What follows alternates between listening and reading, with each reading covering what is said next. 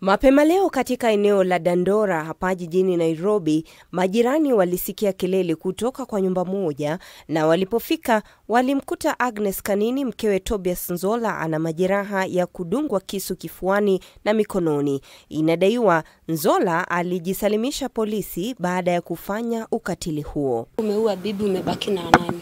Uhurumia watoto wako. Sasa Kinyago akaambia polisi walikuwa wanapigana na bibi yake, akachukua hiyo kisu akajigorogora hapa, akasema hiyo ilikuwa self defense.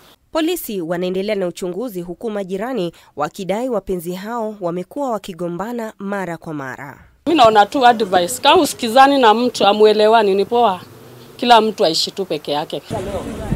Kwingineko, maafisa wa DCI kutoka Nyandarua ya Kati wanamtafuta mshukiwa anayedaiwa kuweka sumu katika maji ya shule ya msingi ya Munyeki iliyoko Olkalau.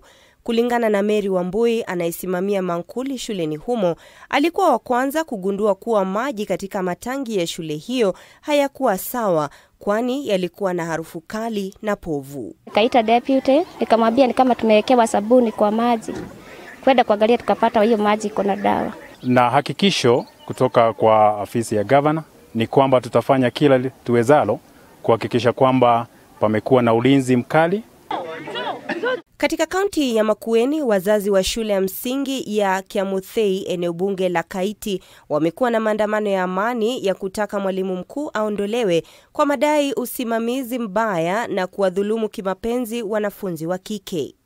ministry ikuwe inawasiliana mashule na walimu wakuwe naongea na wazazi wanawasikiliza, ndio tu shule zetu zisiharibike. Robi Omondi, K24.